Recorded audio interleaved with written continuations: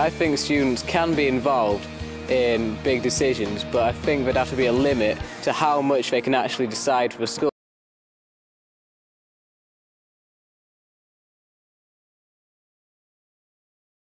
I think the teachers use the student council as a vehicle to get their own views across, but through the students, making it look as if the students have had those ideas, but yet it's actually though the teachers' ideas in disguise.